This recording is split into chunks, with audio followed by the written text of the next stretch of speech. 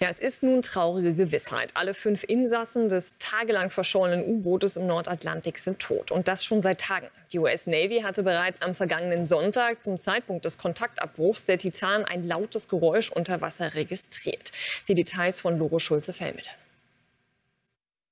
Das Wrack der Titanic auf dem Grund des Meeres. Nur 500 Meter entfernt von diesen Überresten findet ein ferngesteuerter Tauchroboter weitere Trümmer. Sie stammen vom Mini-U-Boot Titan. Damit ist es traurige Gewissheit, die fünfköpfige Crew des Tauchschiffs hat nicht überlebt.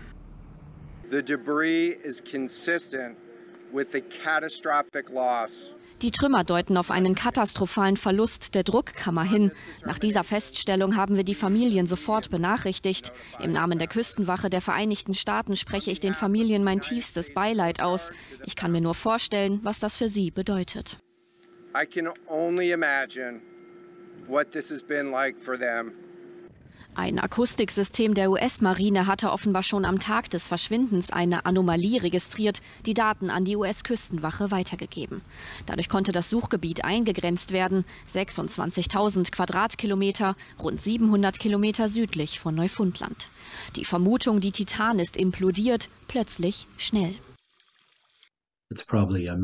Das ist wahrscheinlich eine Gnade. Das war vermutlich ein angenehmeres Ende als die unglaublich schwierige Situation, vier Tage in einem kalten, dunklen und engen Raum zu sein. Es wäre also sehr schnell gegangen. Ich glaube nicht, dass irgendjemand auch nur die Zeit hatte zu realisieren, was passiert ist. I don't think anybody even had the time to realize what happened. Seit Sonntag hatten Trupps aus den USA und Kanada mit Hilfe weiterer Länder den Nordatlantik durchkämmt, mit Flugzeugen, Schiffen, ferngesteuerten Unterwasserfahrzeugen. Bis zuletzt hatten die Einsatzkräfte gehofft, die Insassen lebend zu finden. An Bord waren fünf Menschen, der Gründer der Expeditionsfirma OceanGate Stockton Rush, der britische Milliardär Hamish Harding. Außerdem Shahzada Dawood aus Pakistan mit seinem 19-jährigen Sohn Süleman. Und der französische Titanic-Experte Paul-Henri Najolet.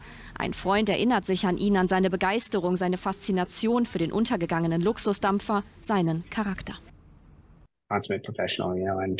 Ein absoluter Profi, aber auch ein sehr bescheidener Mensch, wissen Sie. In diesem Bereich gibt es eine Menge Leute mit viel Getöse und großen Egos, die versuchen zu zeigen, was sie getan haben und wo sie gewesen sind. Er war nie so. Parallel zu der Trauer werden Vorwürfe gegen die Expeditionsfirma OceanGate laut. Das Unternehmen habe die Küstenwache viel zu spät über das Verschwinden der Titan informiert, so die Angehörigen von Hamish Harding. Das U-Boot selbst nur mit einem Game-Konsolen-Controller gesteuert, außerdem ohne Lizenz unterwegs. Niemand hatte überprüft, ob die Titan dem Druck in fast 4000 Metern Tiefe auf Dauer überhaupt standhält. Viele offene Fragen. Darüber will ich sprechen mit unserem US-Korrespondenten Michael Wüllenweber weiter in St. John's in Neufundland. Michael, das ist ja schon sehr erstaunlich, dass offenbar die US Navy wirklich auch zum Zeitpunkt des Verschwindens unter Wasser ein so lautes Geräusch festgestellt hat, dass man eben davon ausgehen konnte, dass das von einer Explosion oder Implosion stammt. Kannst du dir erklären, warum man trotzdem weiter öffentlich auch gesprochen hat von Klopfgeräuschen und so natürlich auch Hoffnung geschürt hat, dass man vielleicht die Besatzung doch noch finden könnte? Also zuerst einmal ist der Nordatlantik ja der akustisch best überwachte Bereich eigentlich auf der Welt. Also man konnte es relativ präzise durch mehrere äh, Sonar-Beobachtungsstellen äh, tatsächlich lokalisieren, dieses Geräusch, und war sich bei der Navy sicher, dass es da irgendwo äh, um, im Umfeld der Titanic gewesen sein musste. Das hat man auch sehr schnell eigentlich dann der Küstenwache mitgeteilt in Boston, die die Rettungsoperation ja leitet, dort zuständig ist. Aber das war ja auch erst acht Stunden später, weil ja auch erst acht Stunden äh, später das Mutterschiff die Küstenwache informiert hatte, dass da vielleicht ein Boot verloren äh, gegangen ist. Warum hat man weitergemacht? Ja, weil man sich an einem Strohhalm festklammerte und die Küstenwache argumentiert auch so, dass man das auch in anderen Fällen tun würde, wenn die Wahrscheinlichkeit eigentlich nur noch gering ist, jemanden Leben zu bergen. Aber dennoch versucht man es natürlich. Man konnte sich nicht absolut äh, sicher sein. Deswegen wurde auch dieses riesige Gebiet abgeflogen geflogen, immer wieder zweimal so groß wie äh, Connecticut. Also das hat man dennoch versucht, den Aufwand betrieben, um am Ende vielleicht diese letzte Chance zu nutzen, die Besatzungsmitglieder der Titan vielleicht doch noch lebend bergen zu können. Aber man war sich eigentlich wahrscheinlich fast sicher, dass die Titan implodiert ist. Es war ein Strohhalm, an dem man sich festgehalten hat. Michael, vielen, vielen Dank. Und wir schauen nach Weilheim. Von dort ist uns Jürgen Weber zugeschaltet vom Verband Deutscher U-Boot-Fahrer. Herr Weber, ich grüße Sie.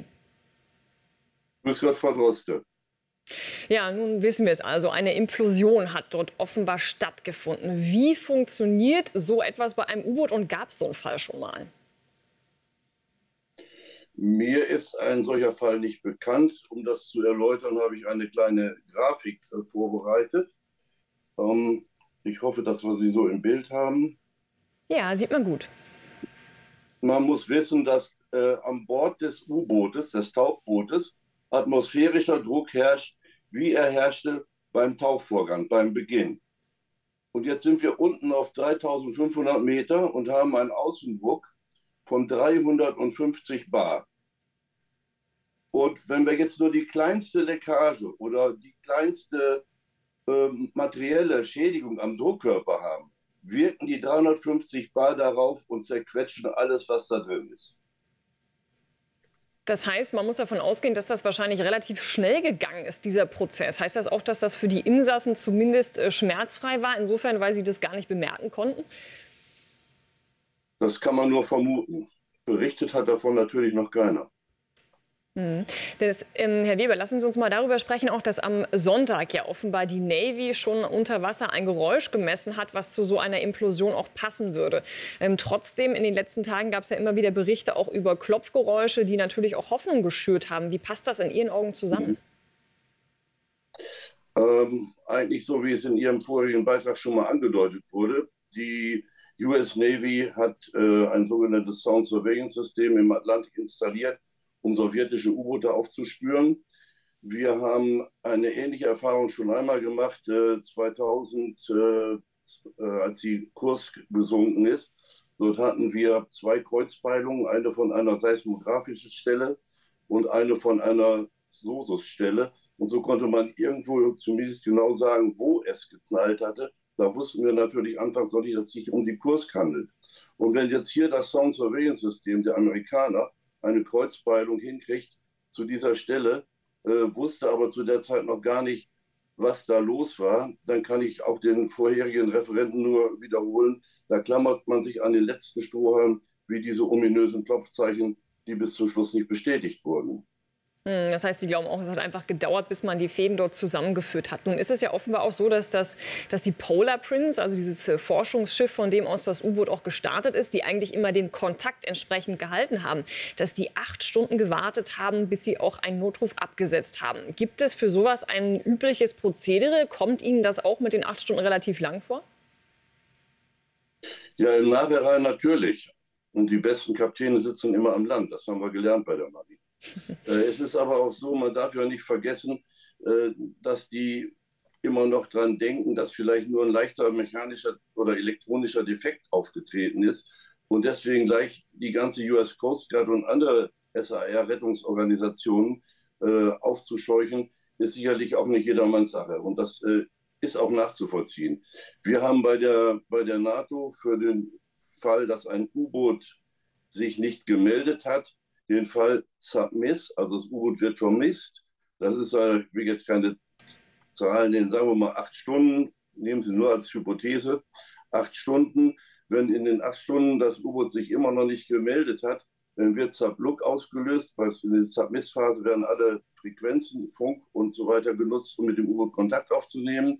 Danach wird äh, Submiss ausgelöst und Einheiten werden im Seegebiet, wo das U-Boot vermutet wird, zur U-Boot-Suche eingesetzt.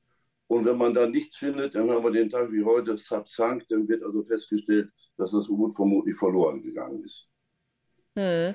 Lassen Sie uns noch mal sprechen auch über den Typ dieses ähm, U-Bootes. Äh, was man so hört, ist da ja Kohlefaser und Titan auch an der Hülle verbaut worden. Ich glaube, das unterscheidet sich enorm von allem, was man eigentlich auch beim Militär äh, in erprobter Weise, sage ich mal, auch an U-Booten äh, im Einsatz hat.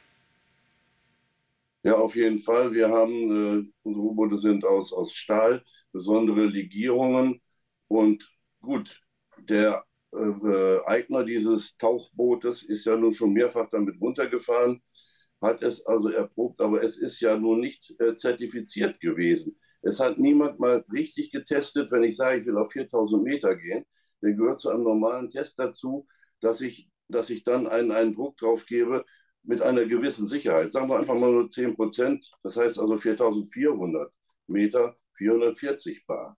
Äh, das ist augenscheinlich nicht erfolgt. Und ich kann immer nur sagen, was, was, was mich an dem Tauchboot gestört hat, ist, dass ich nicht alleine raus kann. Auf normalen Booten kann ich, wenn ich auf Seerotiefe bin, wenn ich auf einer Oberfläche bin, das Turmluck öffnen und kann Sauerstoff, Frischluft reinlassen. Das ging bei diesem Ding nicht. Und deswegen sage ich, es ist ein tauchender Sarg. Herr Weber, ich danke Ihnen ganz herzlich auch für ja, die eigenen Erfahrungen, die Sie in diesem Bereich schon gemacht haben, dass Sie die mit uns geteilt haben. Vielen Dank. Vielen Dank, Frau Droste, Ihnen für das Interview. Unser Fernsehsender Welt versorgt Sie rund um die Uhr mit den aktuellen Nachrichten und Hintergrundberichten. Hier beleuchten wir die wichtigsten Themen des Tages und ordnen das Geschehen für Sie ein. Wie Sie uns im TV finden können, Ganz einfach. Indem Sie den Sendersuchlauf an Ihrem Fernseher starten, eine Anleitung finden Sie hier oben verlinkt. Zusammen mit einer Erklärung, wie Sie uns dann über Kabel, Satellit, Streaming, IPTV empfangen können. Hallo und ganz herzlich willkommen hier bei Welt. Wenn ihr mehr News aus unserem Team wollt, dann müsst ihr einmal hier klicken.